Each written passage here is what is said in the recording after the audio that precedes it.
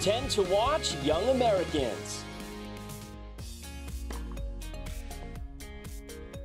Jennifer is a natural ball striker. She's able to get her opponent out of position by hitting very heavy and with a lot of spin. My biggest weapon would be my forehand. You know, moving the person side to side, hitting heavy or flat, or just breaking the person down. I'm working on improving my transition game, coming into the net a lot quicker and being more efficient. Jennifer is a player that I envision going, you know, deep into Grand Slams into the second week. She has a backhand slice, she can come forward, she can volley at net, she has the weapons to beat any top 20 player. It's just a matter of her believing in herself and putting all those weapons together. Jennifer Brady, one of our 10 to watch Young Americans.